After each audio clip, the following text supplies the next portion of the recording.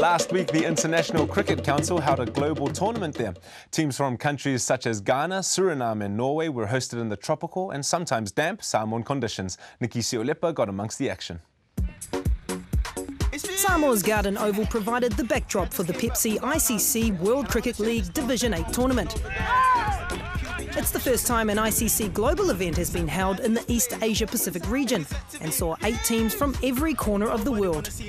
The Division 8 tournament is actually quite unique because it's made up of uh, one member from each of the separate regions. The teams have travelled a long way um, to get here from places like Suriname and, and Norway. The fact that when they get here, they forget about the travel and they get into the Samoan culture straight away means that uh, the Samoan people have been very welcoming and they're really enjoying their time time here.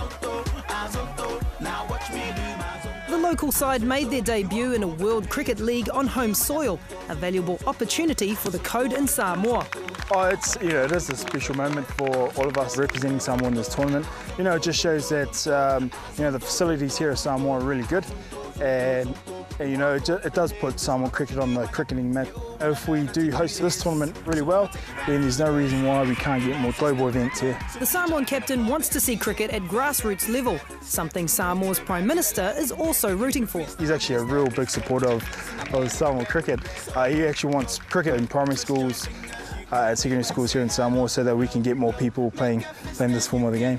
We went to Lebai and did a coaching clinic there to promote this sort of tournament and promote Samoa cricket. It really does help um, getting youngsters coming coming through the ranks. I've been speaking to a lot of locals who have uh, got a bit of interest in cricket, but now that an event such as this has come along, um, they're looking to get even further involved.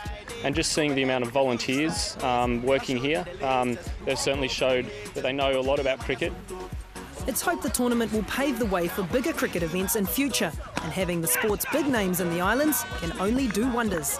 Oh, we wouldn't mind seeing the Black Caps coming around here. Ross Taylor, he's, he's actually the captain of the Black Caps. Seeing someone captaining a full member international side, you know, will be really good for promoting cricket. For now, though, it's all about fun and games in the sun.